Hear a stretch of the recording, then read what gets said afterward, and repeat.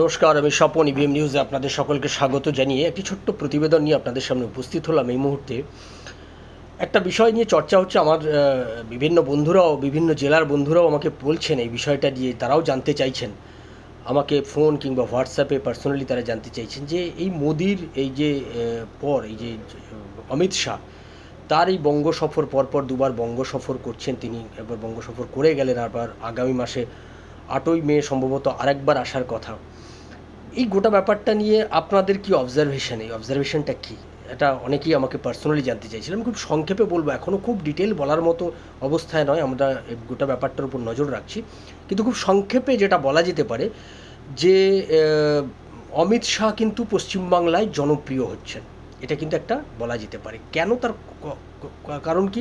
এই স্বল্প সময়ের মধ্যে আমরা যেটুকু দেখ, বুঝতে পেরেছি যে পশ্চিমবাংলায় দিদি এবং মোদি সেটিং এই কথাটা কিন্তু ভয়ঙ্করভাবে বাংলায় মমতা বিরোধী যারা মানুষ, তাদের মধ্যে কিন্তু এই বার্তাটা চলে গেছে যে দিদি মোদি বলে কথাটা সেটিং হয়ে যায়। সেটিং হয়ে যাওয়ার ফলেও এই যে সারদা কেলেঙ্কারির, এই ভয়ঙ্কর কেলেঙ্কারির পর রাজীব কুমারের মতো লোকজন ছাড়া পেয়ে গেল।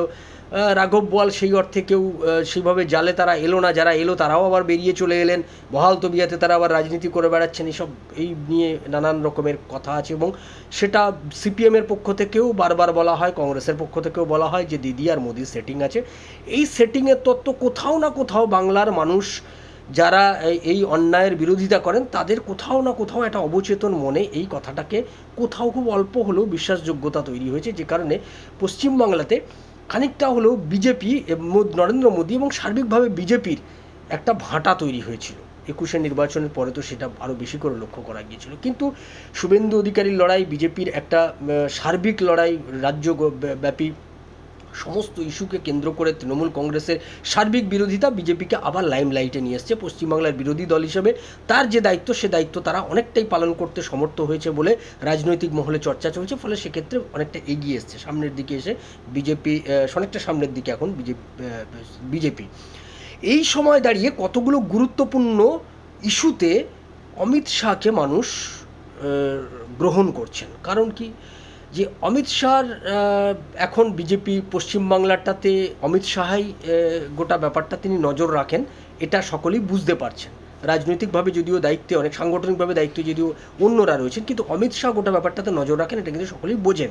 এবং অমিত শাহ গোটা বাংলা নিয়ে তিনি এই বিষয় সম্পর্কে তিনি নিজস্ব উদ্যোগে বাংলার রাজনীতিতে এবং বাংলার সাংগঠনিক, রাজনৈতিক, প্রশাসনিক সমস্ত ব্যাপারে তার একটা ইনভলভমেন্ট থাকে। সেই বিষয়ে শুভেন্দু অধিকারীর বীর্যের রাজ্য বিজেপি থেকেও তাকে বারে বারে অভিযোগ জানানো হয়। সেই অভিযোগগুলো তিনি ভালো করে খতিয়ে দেখেন, সেই মতো অনুযায়ী তিনি তার পক্ষ থেকে সিদ্ধান্ত নেওয়ার চেষ্টা করেন, প্রশাসনিকভাবে যা যা করেন সেটা করার চেষ্টা করেন।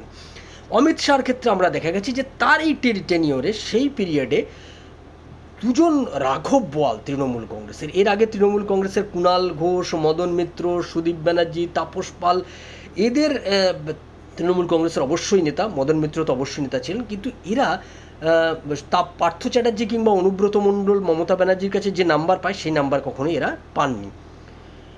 এই ধরনের নেতারা আগে গ্রেপ্তার হয়েছেন, তারা আবার ছাড়া পেয়েছেন, চলে এসেছেন। কিন্তু এই পিরিয়ডে আমরা দেখলাম পার্থ চট্টোপাধ্যায়ের মতো একজন নেতা, তাকে গ্রেপ্তার করা হয়েছে। তাতে পশ্চিমবাংলার মানুষ যতটা না খুশি হয়েছে, তার থেকে বেশি বিস্মিত হয়েছে পার্থ চ্যাটার্জির বেশ ব্যাপারে। পার্থ চ্যাটার্জি কখনো এরকম বিরাট কোনো ইস্যু তার ব্যাপার নেই যে, বেহালা পশ্চিমে বিধানসভা ক্ষেত্র জুড়ে তিনি ব্যাপক সন্ত্রাস চালিয়েছেন, ব্যাপক লুটপাট করেছেন, বিরোধীদের কথা বলতে দেননি, সেখানে খুন করে দিয়েছেন। এরকম ব্যাপারটা তার বিরুদ্ধে অভিযোগ কখনোই সেই অর্থে ওঠেনি।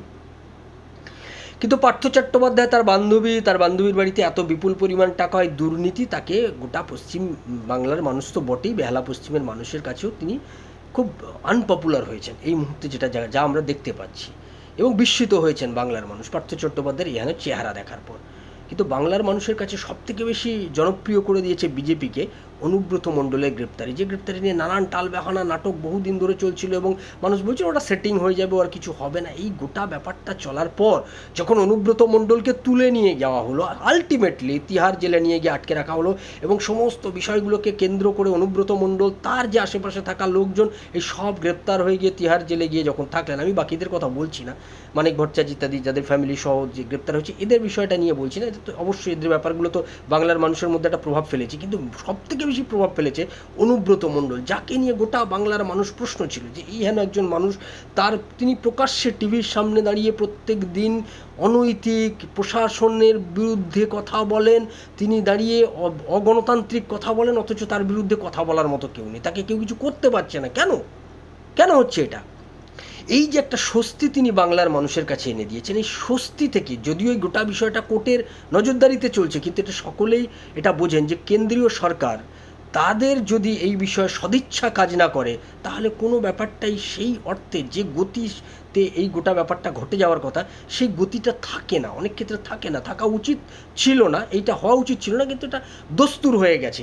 ফলে সেই ক্ষেত্রে অমিত শাহকে এই গোটা নাম্বারটা দিচ্ছেন বাংলার মানুষ, শুভেন্দু অধিকারীকে নাম্বার দিচ্ছেন বাংলার মানুষ, বিজেপি, রাজ্য বিজেপিকে নাম্বার দিচ্ছেন বাংলার মানুষ, এবং সেক্ষেত্রে অমিত শাহ আরও অনেক বেশি জনপ্রিয় হচ্ছেন। যে কারণে দেখবেন, শুভে, প্রথম জনসভাটা বীরভূমে করেছেন অমিত শাহ, এবং তিনি এটা বুঝে নিয়েছেন যে এই জনসভার মধ্য দিয়ে তিনি তার জনপ্রিয়তাটা বিজেপিও বুঝেছেন, তিনিও বুঝতে পেরেছেন। এই জন্য দ্বিতীয়বার তিনি আবার সফর করবেন এবং বঙ্গে তিনি যে ক্রমশ জনপ্রিয় হচ্ছেন, অমিত শাহ, এই ব্যাপারে কোনো সন্দেহ নেই।